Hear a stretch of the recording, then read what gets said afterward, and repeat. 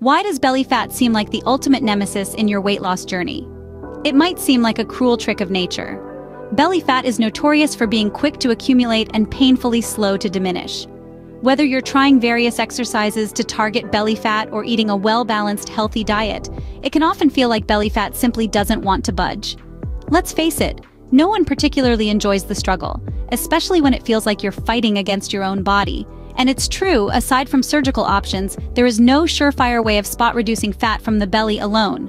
Yet, there lies an exercise that is often overlooked, yet surprisingly effective in combating even the most stubborn belly fat. An exercise you can start incorporating into your routine today to start seeing results. Belly fat may be stubborn, but with the right exercise, it's not invincible. Ever wondered why your belly fat seems immune to your weight loss tactics? Genetics might have the answer, you see, our genes influence the way our bodies store fat. Some of us may find that fat accumulates more readily around the belly, making it a stubborn area to slim down. It's like being at a fat loss party where your belly fat is the last to leave. But don't despair, genetics is not your weight loss destiny. Here's the good news. Creating a calorie deficit can override this genetic predisposition. When you consume fewer calories than your body needs, it has to tap into its fat stores for energy. And yes, this includes stubborn belly fat.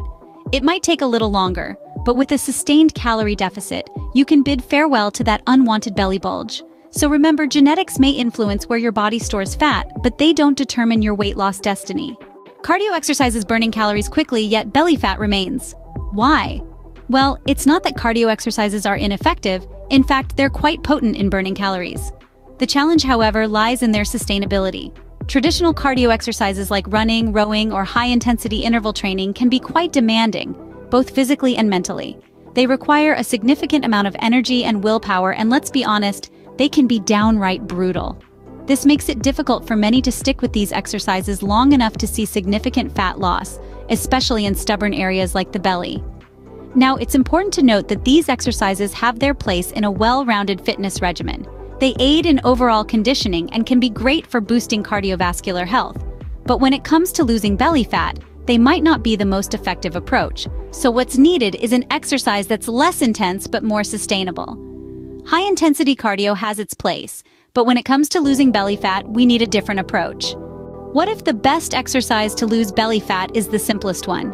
Imagine an exercise that's easy to maintain, low stress, and versatile. That's right, we're talking about walking. It might seem too good to be true, but walking is indeed an incredibly powerful tool in your belly fat loss arsenal. According to multiple research studies, high-intensity cardio like HIIT or running, while time-efficient, didn't provide any superior fat loss effect compared to longer, yet less intense forms of cardio such as walking. Yes, you heard that right. The humble walk can be as effective as a grueling HIIT session. Why? It's all about consistency. Your body doesn't care whether the calories burned were from some crazy intense fasted cardio session or from a leisurely stroll. What matters most is what you can do consistently over time. And let's face it, it's much easier to stick to a daily walk than a punishing gym routine. Walking, the most versatile form of cardio, comes out on top for losing stubborn belly fat. Now that we know walking is the key, how do we use it to lose belly fat? The first step is to gauge your current activity level. Use a health tracking app on your phone to capture your daily steps. After a week, review the average. You might be surprised at how few steps you're taking. Next, set a goal to gradually increase your steps. Start by adding a thousand steps to your daily count. Remember, this isn't a sprint, but a marathon. Consistency is crucial. As you become more comfortable, continue to increase your steps gradually. Don't limit walking to a specific time or place. Make it a part of your lifestyle. Walk during your lunch break. Take the stairs instead of the elevator. Park a little further from your destination. Lastly, track your progress. Celebrate your small victories. They will motivate you to keep going. Remember, every step counts. With the right approach, walking can be your powerful ally in your battle against belly fat.